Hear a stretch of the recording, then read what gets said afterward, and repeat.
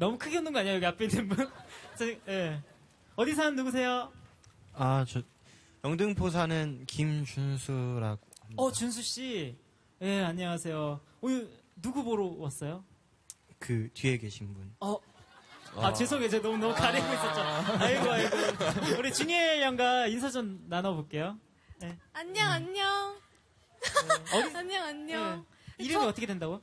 김준수요. 아, 저 준수 씨가요. 네. 그때 톡식분들 나왔을 때 제가 위시스 부르면서 아. 제 팬분 마지막으로 오시니까 네. 노래 부른다고 했던 거 기억나요? 아, 네, 아, 그때 네, 저 그랬었죠. 기억나요, 그때. 네, 네. 그때 그분이 저 준수 씨예요. 아, 네. 네. 자주 보는 또. 네, 팬분이에요. 처음부터 항상 같이 아. 네, 우리 주시던. 씨가 어디가 좋아요? 어, 준수 씨는? 어디가 좋지? 없어? 어, 근데 이게 없구나. 이유가 없으면 더, 좀더 애틋하고. 그쵸. 음. 아, 이유 없이. 좋은 게 사랑이 됐어요. 근데 부끄럼 타는 저 표정이 더 되게 네. 애틋해요. 고마워요, 오늘 와줘서. 어, 그래요. 집이 밑이라 금방 와요. 아. 쿨해, 어, 굉장히 쿨하고. 쿨해요. 어, 남자야, 제 상남자야. 팬들 네. 쿨해요. 예. 그래요, 오늘, 오늘 힐링 카페 어땠어요? 준수 씨? 좋았어요. 근데 추웠어요. 아, 아이고. 죄송해요. 죄송해요. 아니요, 아니요. 네. 아, 좋습니다. 우리 준수 씨까지 인터뷰 만나봤고요. KBS 쿨 FM 슈퍼주니어 Kiss the Radio. 오늘은 가을 새 단장을 기념해서 KBS 앞마당 콘서트로 함께 해봤습니다. 야, 이 무지개차 위에서 맞는 가을바람 참 추웠지만 그래도 신선하고 좋았지 않았나 싶어요. 힐링 카페도 뭔가 특별해진 것 같은데 우리 다 일어나서 이제 네. 앞으로 좀 와볼게요. 음. 이 자리를 끝까지 지켜주신 애청자 여러분 오늘 즐거우셨나요? 정말로? 힐링 되셨어요? 네.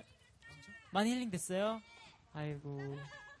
우리 지수 씨는 어떠셨나요? 아, 역시 이게 맨날 저 부스 안에서 이렇게 여러분을 이렇게 글씨로만 뵙다가 이렇게 실제로 보니까 아주 충격적이었습니다.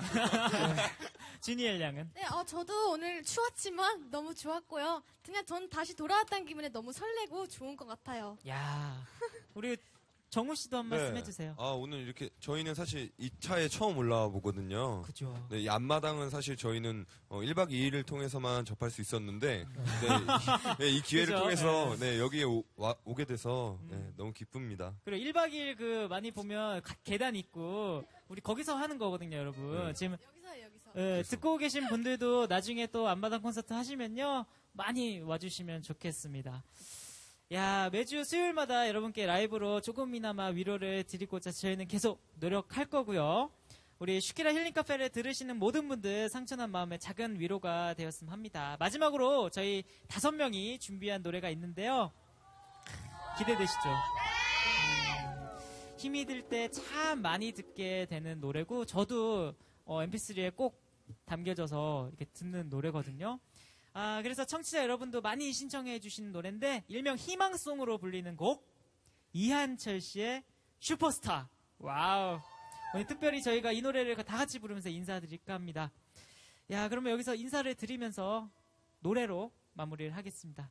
키스 가족 여러분, 내일은 더 달콤한 키스 나눠요. 음.